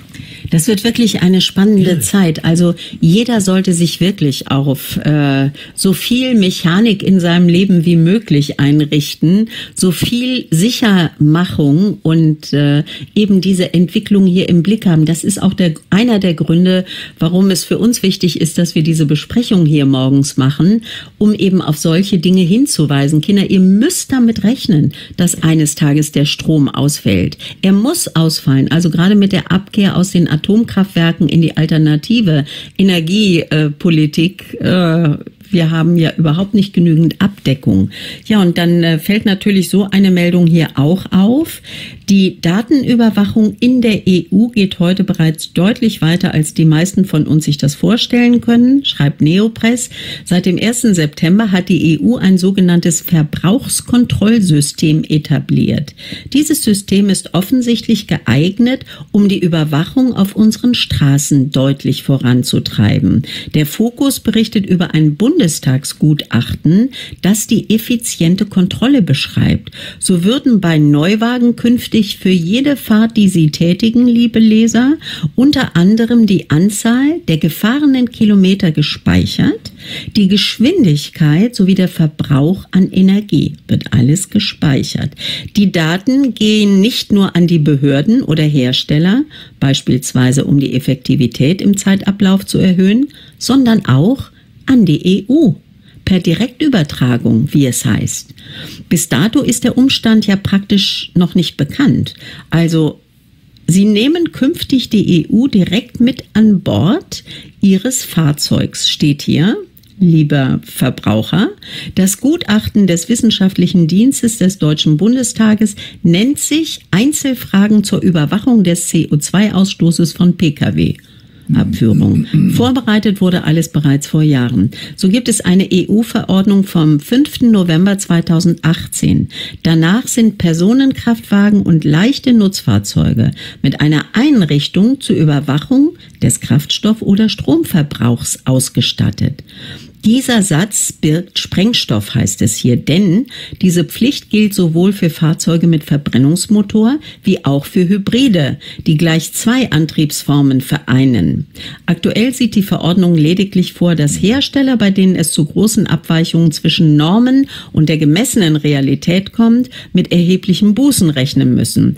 Je Fahrzeug einer Flotte könnten dies bis zu mehreren tausend Euro sein, so der Fokus. Der Gesamtschaden für die Unternehmen kann demnach sehr schnell in den Bereich vieler Millionen gehen. Ja, und wenn man das Ganze dann noch koppelt mit dem Navigationssystem, dann wissen Sie nicht nur, wie viel ich verbraucht habe, wann und wo, und die wissen auch genau, wen ich besucht habe und bei wem ich gerade war. Und wenn das Ganze dann auch noch gekoppelt wird damit, dass ich ein Elektrofahrzeug habe in Zukunft, dann wissen Sie auch noch, wo ich getankt habe. Und wenn auch noch das Bargeld abgeschafft wird, dann wissen Sie auch noch, wann ich ein Eis gegessen habe und mit wem ich ein Eis gegessen habe. Das ist totale Überwachung. 1984 ist ja wirklich ein Märchenbuch gegenüber dem, was da jetzt kommt. Ja, und wenn du dann noch die Mikroben-App hast, die ja auch überwacht, mit dem, mit wem du dich triffst.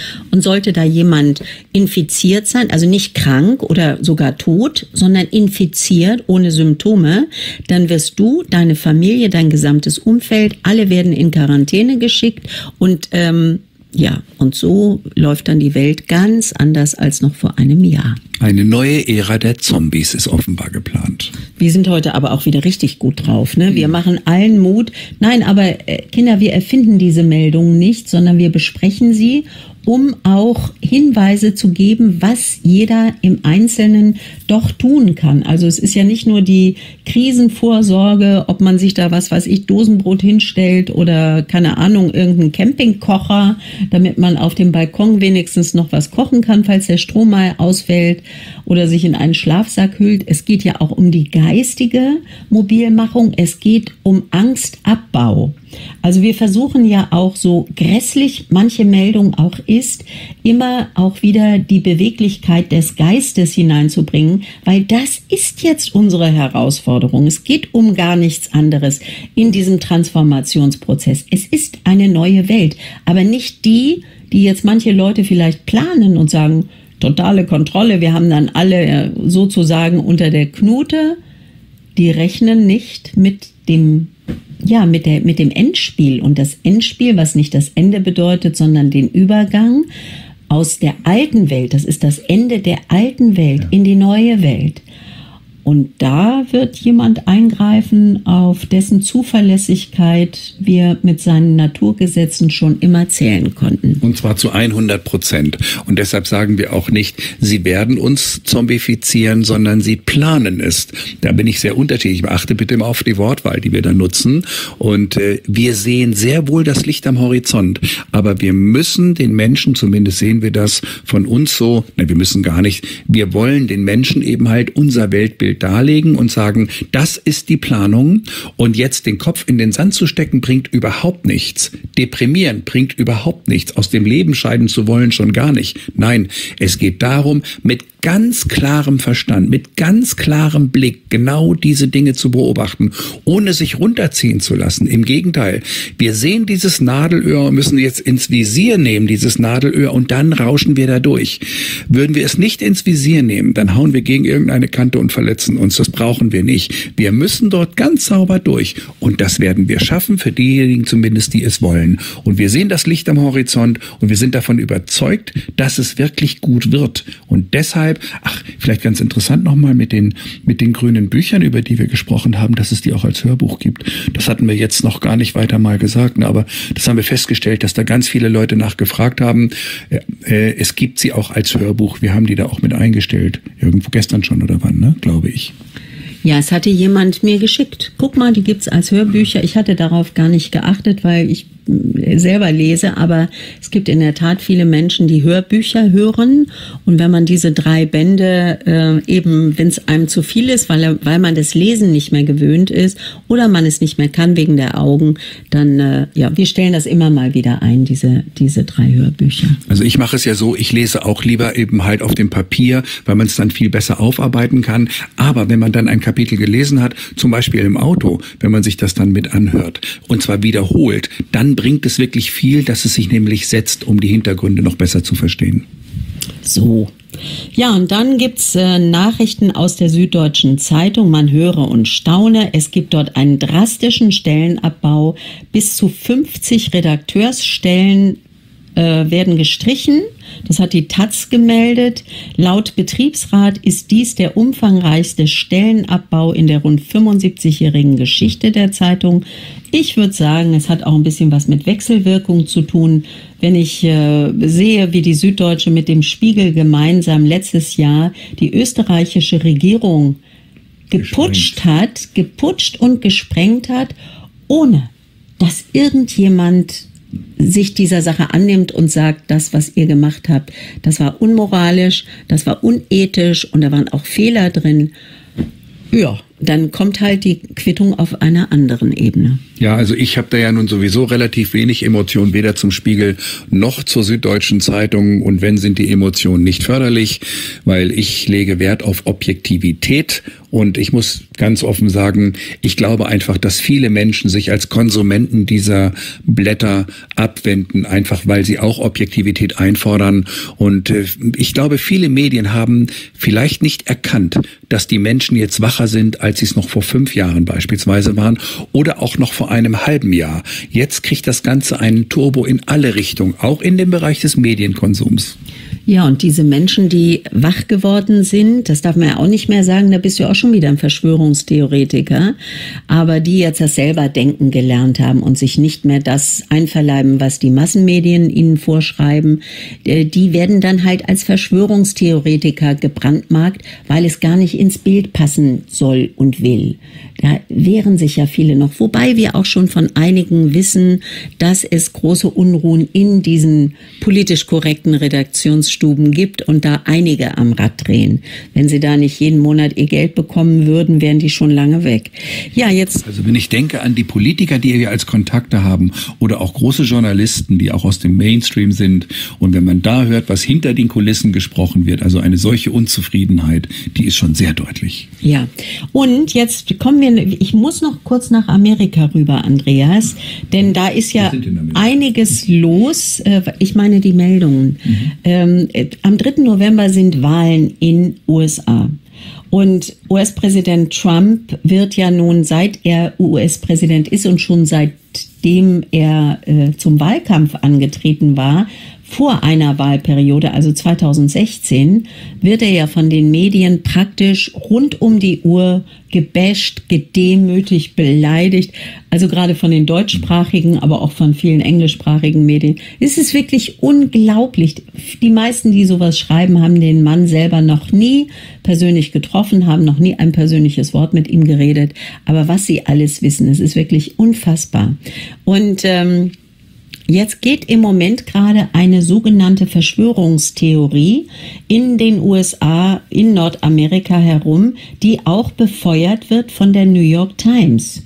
Und da heißt es eben, dass wenn die Wahl am 3. November diesen Jahres stattfindet, egal wer gewinnt, ob es Joe Biden von den Demokraten ist oder Donald Trump von den Republikanern, dass keine Wahl anerkannt werden wird. Weil wenn Trump es wird, worauf vieles im Moment hinweist, dann würde also das demokratische Lager, wozu eben auch die Linken, die Antifa, die BLM-Aktivisten gehören, würden also für ein Riesenszenario sorgen und die Wahl nicht anerkennen.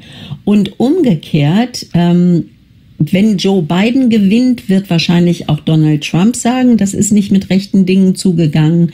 Also das und spannende Informationen sind die, es gibt in den USA so gut wie keine Waffen mehr zu kaufen. Es sind zig Millionen Waffen verkauft worden in den letzten Monaten. Mit anderen Worten, die Bürger bewaffnen sich Vielleicht auf der einen Seite natürlich, weil viel geplündert und randaliert wird, was ja durch die Aktivisten der Antifa, der Linken und der Demokraten auch finanziert und forciert wird. Aber man geht auch davon aus, dass sich viele von denen an einem Bürgerkrieg beteiligen werden. Das heißt, Andreas, so etwas, wie wir das eigentlich aus der Vergangenheit kennen, dass da eben ein Wahl Gewinner und ein Wahlverlierer sein werden und man mehr oder weniger fair miteinander umgeht, davon scheint es in den USA weit entfernt zu sein. Wohin wird das führen? Ja, da braut sich in den USA eventuell wirklich etwas zusammen und das macht dann natürlich schon Sorgen. Ähm, wir sehen ja zeitgleich, dass dieser Waffenverkauf in USA extreme Maße annimmt, keine Munition mehr zu bekommen ist und gleichzeitig eine gigantische Abwanderung aus den Großstädten stattfindet. Das bedeutet, dass also große Städte wie New York äh, mittlerweile Leerstand haben an Apartments, die Mieten momentan sinken und das in allen großen Städten mittlerweile. Und wir sehen, dass Recht und Ordnung in USA eben halt mittlerweile schon ein Fremdwort geworden ist und dass etwas sich zusammenbraut, was einem große Sorge macht. Und äh, ich gehe auch davon aus, fast, dass man versucht, einen über diese Wahl am 3. November, man will jetzt etwas durchziehen. Wir dürfen nicht vergessen, wir befinden uns in dieser Shutdown-Phase dieser Mikrobe. Das passt ja alles zusammen. Der Hysterie äh, um die Klimageschichte, die sich jetzt äh, erhöht, immer mehr exponentiell. Und gleichzeitig eben halt diese ganzen äh, linken Organisationen, die sich ja wirklich faschistoid Faschistoid in eine Richtung, also gebürstet, Faschismus kommt ja von Faszien in eine Richtung bürsten. Ähm, und das heißt, ist eine, ganz klar in eine Richtung sich jetzt entwickelt. Und ich gehe auch davon aus, wenn ich mir Joe Biden ansehe und ich sehe mir Donald Trump an, das ist ja auch eine Frage von Farblosigkeit und äh, Farbprächtigkeit. Und äh, die Wahrscheinlichkeit, wenn dann eben äh, Donald Trump tatsächlich gewinnen sollte und er dann im Weißen Haus bleibt, dass man sagen wird, der hat nicht gewonnen. Das wurde schon vor einem halben, dreiviertel Jahr diskutiert. Was machen wir mit der Nationalgarde, wenn Donald Trump sich weigert, das Weiße Haus zu verlassen, weil er seine Wahlniederlage nicht anerkennen will? Das ist ja schon von langer Hand in dieser Vorbereitung und man kann nur hoffen, dass man, dass ich mich da jetzt auch irre und äh, die Wahlergebnisse so klar ausfallen, dass das Problem hoffentlich nicht auftaucht.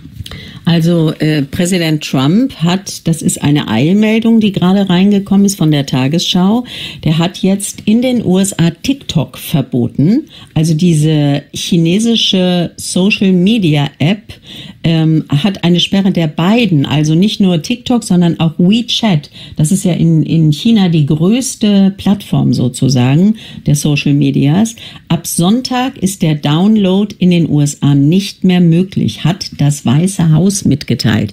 Das heißt, Trump ist ja die ganze Zeit am Wettern gegen China, ähm, sagt auch, er überlegt, Handelssanktionen zu erlassen gegen China, macht China für die Mikrobe verantwortlich, für eine zu späte Informationspolitik gegenüber der Welt. Er beschuldigt China der Zusammenarbeit mit der WHO. Also er ist wirklich wütend.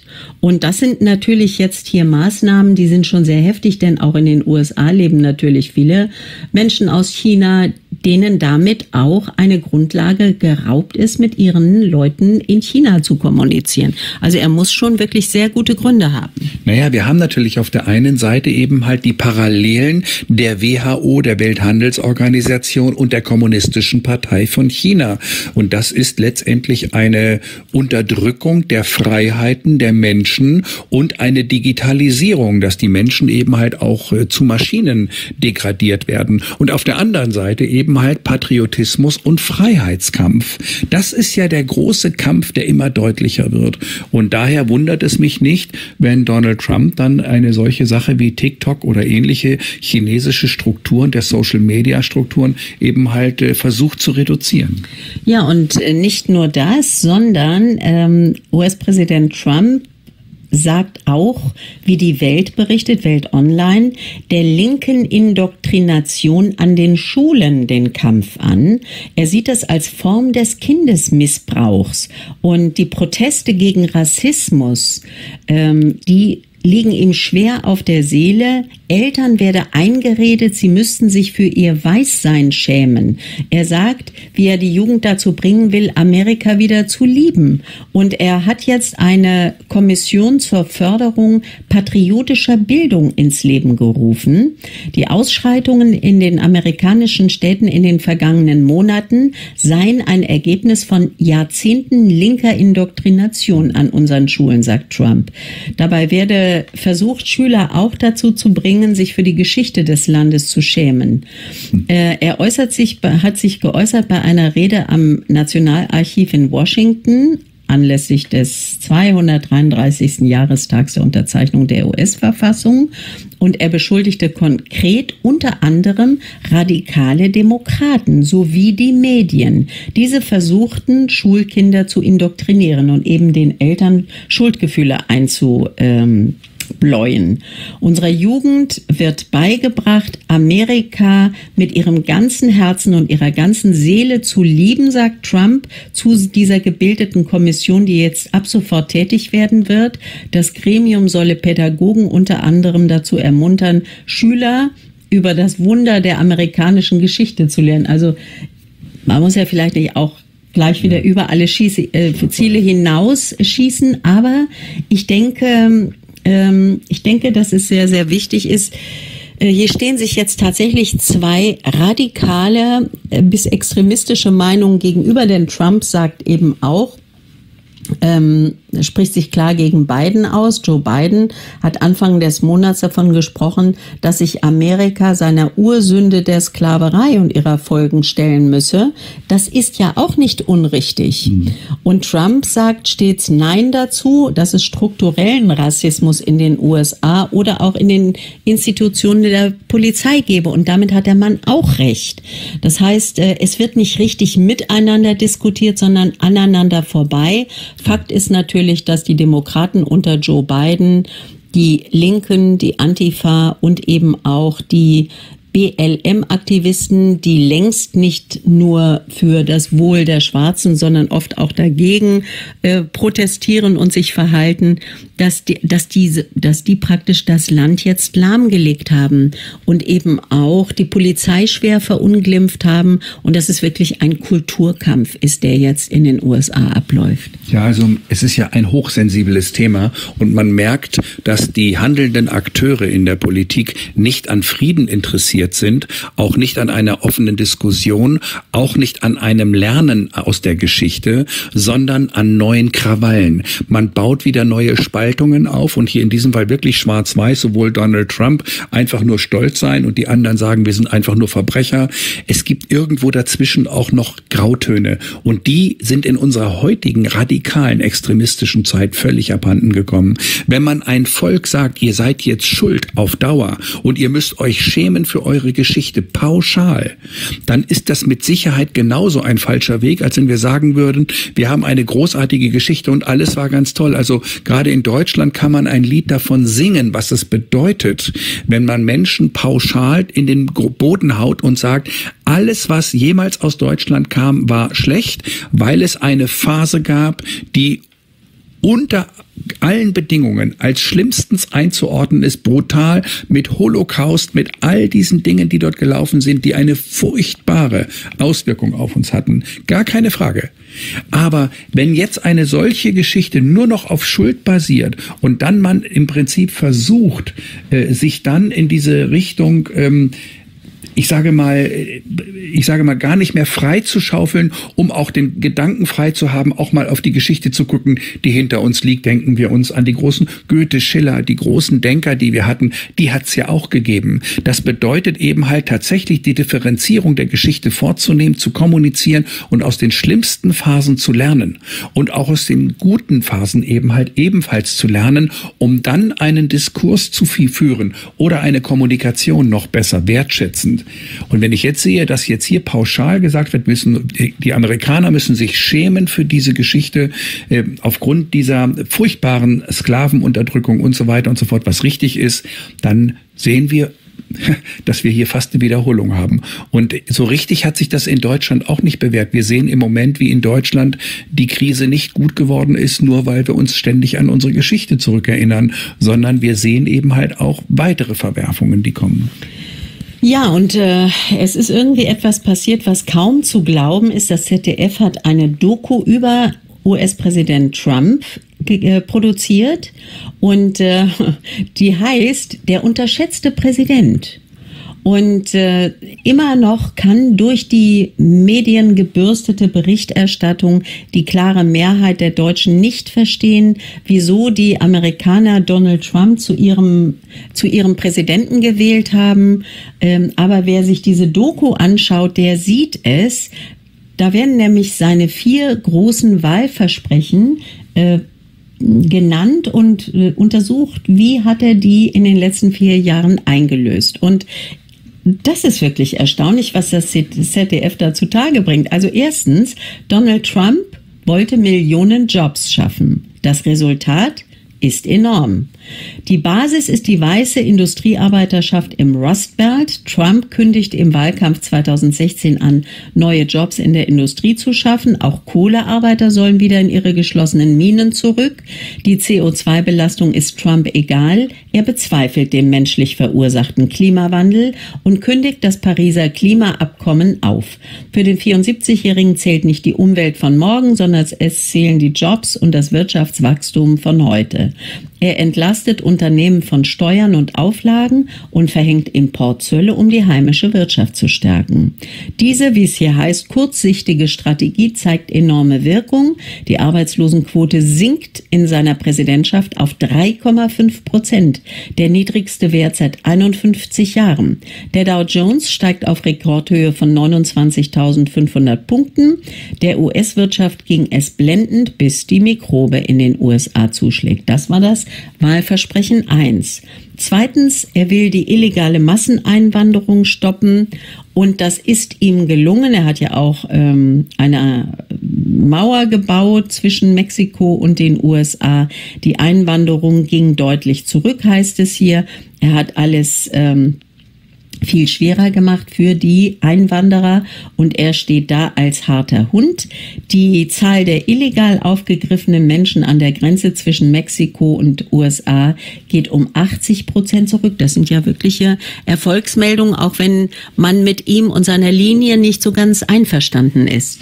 Ja, also ich, man muss da natürlich wirklich wieder differenzieren. Da sind unglaublich wichtige Daten drin, wie zum Beispiel die Zölle, die ich für richtig halte, weil damit eine Wirtschaft auch geschützt wird. Das ist eine Form von Protektionismus und Protektionismus pauschal als falsch darzustellen. Das bedeutet ja Schutz der einheimischen Wirtschaft. Nun müsste man viel, viel weiter ausholen, weil es zu komplex ist. Aber die Grundlage ist richtig. Das hilft übrigens, wenn er solche protektionistischen Maßnahmen wie die Zölle ein, einführt. Nicht nur USA, sondern auch den anderen Ländern. Die einzigen, die darunter leiden, sind die Gewinne der Konzerne. Aber die Gewinne der Konzerne müssten nicht unbedingt auf Punkt eins aller Ziele stehen, sondern die Zufriedenheit und auch die äh, Einkommensmöglichkeiten der Menschen, die in den Staaten leben, nämlich Volkswirtschaft. Da steckt das Wort Volk drin. Wir diskutieren aber nur noch über Betriebswirtschaft und über Konzernergebnisse. Und deshalb sind diese Dinge wie Dow Jones, ob der gestiegen ist oder gefallen ist, das hat was mit Spekulation zu tun. Das wird hier vermischt, das würde ich rausnehmen. Rein die ökonomischen Grundlagen. Wenn es heißt, es interessiert ihn der CO2-Ausstoß zum Beispiel nicht, dann ist es nicht richtig. Der CO2-Ausstoß findet jetzt in USA statt. Vorher hat er in Korea beispielsweise oder eben halt in China stattgefunden. Und da gibt es weitaus geringere Umweltauflagen. Also das sind ganz viele Dinge, die man bereden kann. Grundsätzlich müssten Veränderungen rein, aber er hat tatsächlich hier eine, ein großartiges Ergebnis geliefert nach den alten Mustern.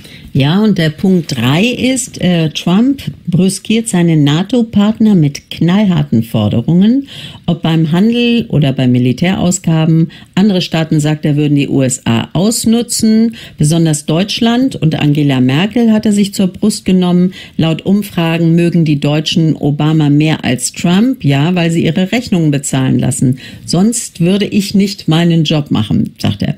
Ja, und er bekommt den Deal mit den NATO-Staaten. Es gelingt ihm den US-Anteil am NATO-Budget von 72 auf immerhin 70 Prozent zu drücken. Gleichzeitig zieht er 44.000 Soldaten aus dem Ausland ab. Auch 12.000 aus Deutschland sollen zurückkehren in die Heimat. Damit bedient er den Wunsch vieler Amerikaner, dass sich die USA aus der Rolle der Weltpolizei verabschieden solle. Äh, wirtschaftlich geht er auf Konfrontationskurs mit der EU mit Kanada, Mexiko, Südkorea, Japan und China. Er will gegen das extreme Handelsdefizit der EU etwas unternehmen. Nach und nach nimmt er sich alle Wirtschaftspartner zur Brust, eskaliert sogar mit China einen Handelskrieg, wie erwähnt, aber er bekommt seine Deals. Das Handelsdefizit gegenüber China schrumpft von 2018 auf 2019 deutlich um 72 Milliarden US-Dollar.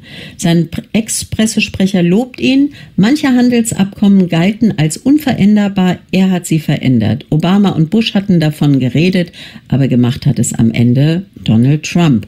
Und der vierte Punkt, um den es geht, er kündigt den Kampf gegen das liberale Establishment an, also das Linksliberale, und er zieht das auch durch. Hm, der Höhepunkt seines Krieges gegen das Establishment ist das gescheiterte Amtsenthebungsverfahren wegen der Ukraine-Affäre. Trump nennt es eine Hexenjagd der Demokraten und der liberalen Medien. Inzwischen ist es ja tatsächlich so, dass wirklich auch Licht ins Dunkel gekommen ist. Äh, die Trump-Biografin Gwenda Blair durchschaut diese Taktik. Äh, sie sagt, mit großem Erfolg pflegt Trump diese Art von Gegenerzählung, mit der er sich als jemand darstellt, der seit seiner Wahl nur angegriffen wird. Aber dadurch, dass es thematisiert wurde, gab es eben auch Untersuchungen und die sehen alle genauso aus, dass Trump eben auf der richtigen Linie lag. Also alles in allem eine tolle kann man wirklich sagen, eine tolle Doku. Natürlich nicht ganz unkritisch, aber das macht es ja gerade auch aus, wenn man doch durchaus auch kritisch bleiben kann, aber die Punkte, die wirklich doch in die gute Richtung führen, hervorheben kann. Ja, das waren jetzt natürlich zwei große Themenkomplexe, die jetzt hier vermischt sind. Ähm, wenn Donald Trump beispielsweise sagt, dass die anderen Staaten die USA ausnutzen, dann ist das natürlich nicht die Wahrheit. Wahr ist, dass 1913 der Federal Reserve Dollar eingeführt wird und den US-Dollar abgelöst hatte und 1944 der US-Dollar zur Weltleitwährung wurde. Und als Weltleitwährung hat man natürlich auch eine Verantwortung als Staat, der diese Leit Weltleitwährung führt. Dieser Verantwortung sind die gesamten Politiker nach 1945, 44 nicht nachgekommen, sondern haben USA eben halt in einen Wettbewerbsnachteil gebracht der Industrialisierung. Und das führte dazu, dass die USA eben immer mehr heruntergefahren wurden in der wirtschaftlichen Kraft. Aber das hing eben halt mit dieser Weltwährung zusammen. Das ist offenbar von Donald Trump nicht verstanden worden. Und wenn er daraus ableitet, die anderen, die arbeiten alle auf Kosten der USA, der USA das ist einfach nicht richtig. Ähm, der zweite Teil eben halt den linken äh, Dogmen entgegenzutreten, dem kann ich natürlich nur folgen. Wir sehen, es sind unglaublich viele komplexe Themen, die vom Grunde her aufgebaut werden müssen und es gibt zu wenig tatsächlich Diskussionen, um aus der Vogelperspektive über das Gesamte. Wichtig und unwichtig wird aus meiner Sicht hier sehr, sehr stark ähm, vermischt und äh, das ist das Problem eigentlich. Ja. Ja, ich danke dir für diese Einschätzung, Andreas. Äh, wir sind jetzt auch wirklich ja. schon wieder am Ende angekommen. Ich möchte noch mal hinweisen auf das neue Buch von Gerald Hüther, dem Hirnforscher der eben dieses Buch geschrieben hat, damit die Menschen, die in der Angst sind, auch es schaffen, da wieder rauszukommen. Wege aus der Angst heißt es. Und ich glaube, das ist im Moment die größte Bedrohung. Wir haben ja jetzt ein Szenario hier gerade erwähnt, was die USA angeht. Das sind Spekulationen, die eventuell eintreten, eventuell aber auch nicht, weil man eben auch nicht weiß, ob das linke Establishment es schafft überhaupt, äh, das so auf, die, auf den Weg zu bringen. Und deswegen bitte, also nehmt jetzt das, was wir hier diskutieren, was eventuell eintreten könnte, nicht für 100% bare Münze. Habt es im Hinterkopf, es könnte so sein, aber nicht, oh je, was passiert, wenn jetzt das passiert und euch in eine nächste Angstschraube begeben. Das ist dieses Bewusstsein, die Meldungen, die wir hier besprechen, die Fakten, sind, also zum Teil Spekulationen, sie werden dann auch von uns als solche gekennzeichnet. Andere sind Fakten, wie eben jetzt den Niedergang der Wirtschaft. Ich habe darauf verzichtet, hier jetzt gerade die Meldung noch zu bringen, dass die British Airways ums Überleben ringt und auch die Lufthansa langsam in diesen Zug kommt. Das heißt nämlich mit anderen Worten, dass man in Zukunft äh, nur noch sehr wenig wird fliegen können. Ähm, das soll offenbar auch so sein. Das gehört offenbar alles zu diesem Transformationsprozess. Äh, wir müssen in der eigenen Stärke bleiben, in der inneren Stärke, dass am Ende wirklich alles gut wird, wenn dieser Prozess des dunklen Tals beendet ist. Ja, und die Grundlage dafür ist einen Begriff ganz genau zu beobachten, das ist das Grübeln. Mhm. Wer anfängt zu grübeln und sich seine Gedankengebilde immer mehr aufbaut, nicht so wie ich, wenn ich sage, ich baue da mal eine kleine hübsche Verschwörungstheorie, sondern und dann aber hake ich sie auch wieder ab und gehe wieder weiter fröhlich und motiviert durch den Tag. Das ist wichtig. Wir müssen in der Motivation bleiben und auch in der Fröhlichkeit bleiben. Ich sage immer, wer zuletzt lacht, stirbt fröhlich. Und deshalb ist es ganz wichtig, dass wir eben halt auch fröhlich bleiben bei der ganzen Geschichte. Und wenn wir anfangen zu grübeln, schrauben wir uns in irgendwelche Geschichten rein. Wir kennen das, wenn wir zum Beispiel glauben, dass irgendjemand vielleicht schlecht über uns redet, schlecht über uns denkt oder irgendwelche anderen Dinge. Und dann fangen wir an und grübeln uns in eine Geschichte rein und ganz zum Schluss stellen wir fest, wenn es zu einem Gespräch kommt, man hatte die ganze Sache völlig falsch eingeschätzt. Der hat gar nicht so schlecht geredet und es war gar nicht so. Man selbst hat viel zu viel interpretiert und sich dann dort reingeschraubt. Und in diesem Sinne, das lasst bleiben fröhlich in den Tag, euch einen wunderschönen Tag von mir. Alles, alles Liebe vom Silbersee. Ja, und wir hören uns später wieder beim Abendgebet. Auch euch einen schönen Tag bis dahin. Bleibt stark, bleibt fröhlich, geht raus in die Natur, umarmt einen Baum, hört schöne Musik, tanzt, singt, macht das, was euch Spaß macht. Wenn ihr die Zeit dazu habt, schiebt es einfach zwischendurch ein und hebt euer Immunsystem damit auch. Denn wenn eure Seele schwingt und gesund ist, dann baut ihr damit schon euer Immunsystem auf und das braucht ihr jetzt. So, und ich möchte jetzt dein Baum sein. Du darfst mich jetzt umarmen. Okay, vorher machen wir hier Schluss. So soll's sein. Ciao, Tschüss. ciao.